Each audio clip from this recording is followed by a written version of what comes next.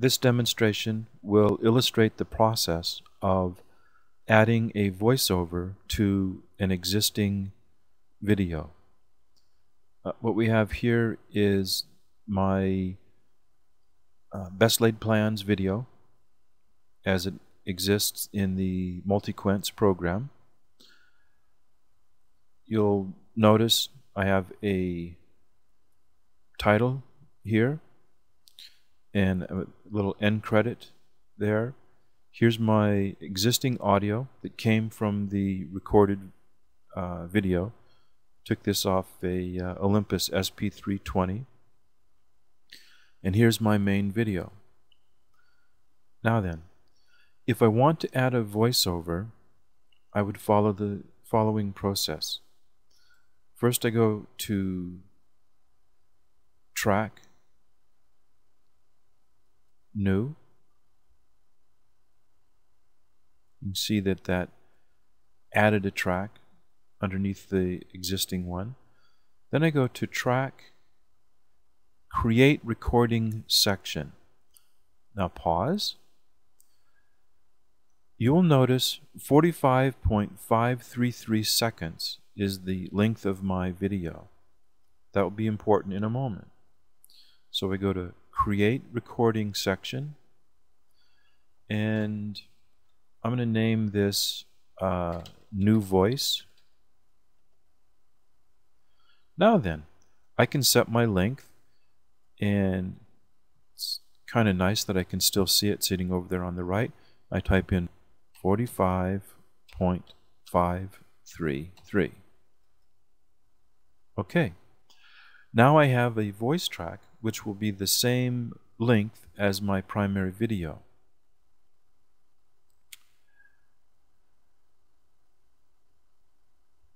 At the moment, if I right click and look at section options, we'll notice that microphone is selected, the length is 45.533 seconds, and I'm set to record. So we can click cancel. Now to record, all I do is press the control key while I start the video.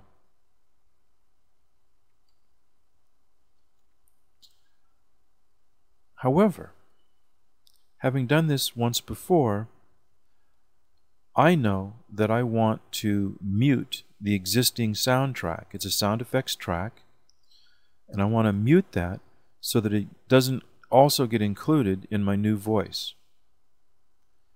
So I've muted that by pressing this little mute button down here. I'll unpress it. It's now muted. So holding the control key down, I press the play button. Alright, this is a test. Right now we're looking at best laid plans. It just fades out and we move along a little bit further and lo and behold there's some flapping in the wind and etc etc etc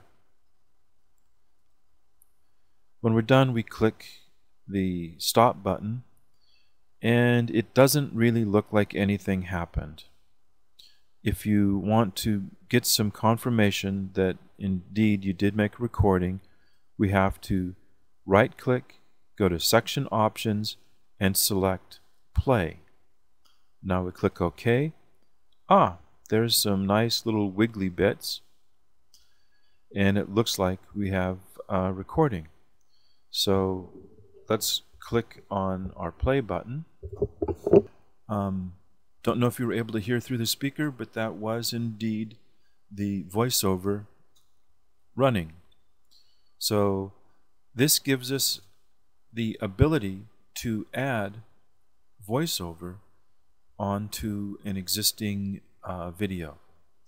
I'm going to try something a little bit different. First, let's move to about here in the video. You'll notice there's no recording here. We stopped earlier. Now if we click this button here that's got a straight bar and then the triangle, it starts recording from where that uh, bar is. So let's switch back section options to record. Click OK. holding the control key down, let's push this button. Okay, we are adding sound at this point here. We should see some wiggly bits when we take a look at it. Okay, let's see if it worked. Section options, play, and there we have it. So this gives you the ability to find a section of the video that you want to check out, add voiceover to that part, and you don't have to run the whole video. Hope this helps.